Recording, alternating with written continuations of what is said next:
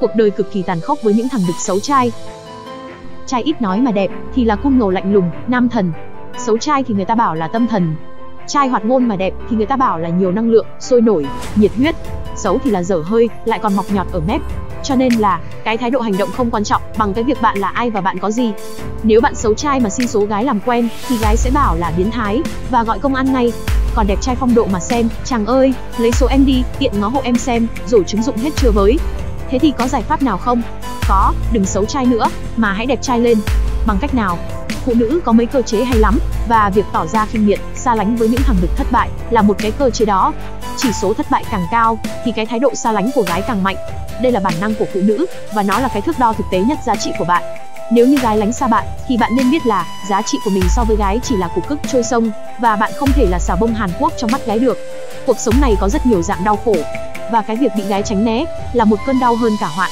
Có gì có thể nhục nhã hơn một cái nhíu mày của gái khi bạn tiến lại gần?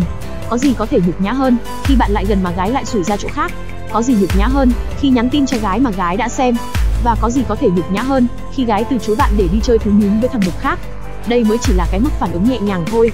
Thế nên là, nếu mà thấy gái có ý định né mình, thì hãy mạnh dạn dừng lại, và đừng mặt dày để khỏi mang nhục to hơn về sau.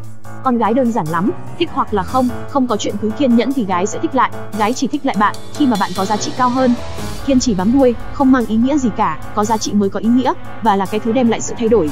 Nếu như bạn là một thằng không giá trị, nhưng lại có những cái động thái bám đuôi dày dẳng, cô gái đó không thích bạn thì cô gái đó sẽ cho bạn vào danh sách những thằng biến thái thất bại cần tránh xa vốn đã muốn né nay càng muốn né xa hơn và chắc bạn cũng biết cách gái đối xử với bọn biến thái như thế nào rồi đấy.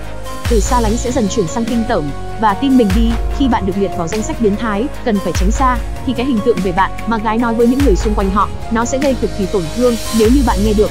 Thế nên là, thấy gái né mình thì giữ lấy cho mình cái lòng tự tôn, đừng cố bám đuôi mà hãy về nhà đóng cửa tu luyện, nâng giá trị của bản thân lên.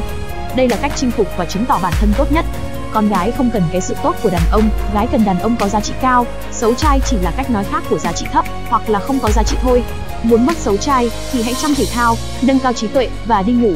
Đừng tìm kiếm sự đẹp trai, hãy cố gắng loại bỏ cái sự xấu trai, cái đẹp trai sẽ tự hiện ra.